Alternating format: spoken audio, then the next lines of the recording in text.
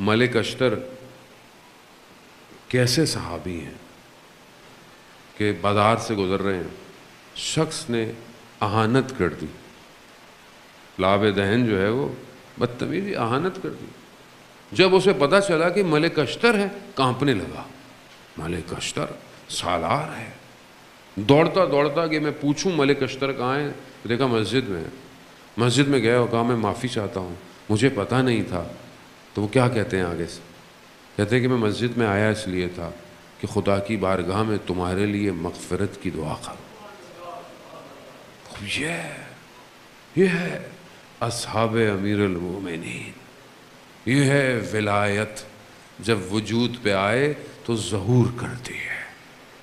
वो मेरे वजूद पे विलायत आई आज तक। मैं जो अमीर अमीरमिन का मानने वाला हूँ, मेरे वजूद पे विलायत ज़हूर कर रही है कि नहीं कर